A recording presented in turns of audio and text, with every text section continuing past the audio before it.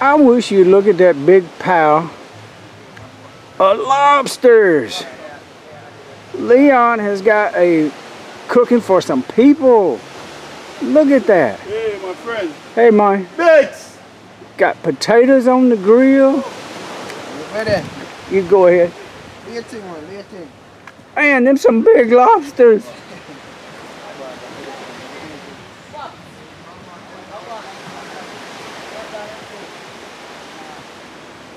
Wow.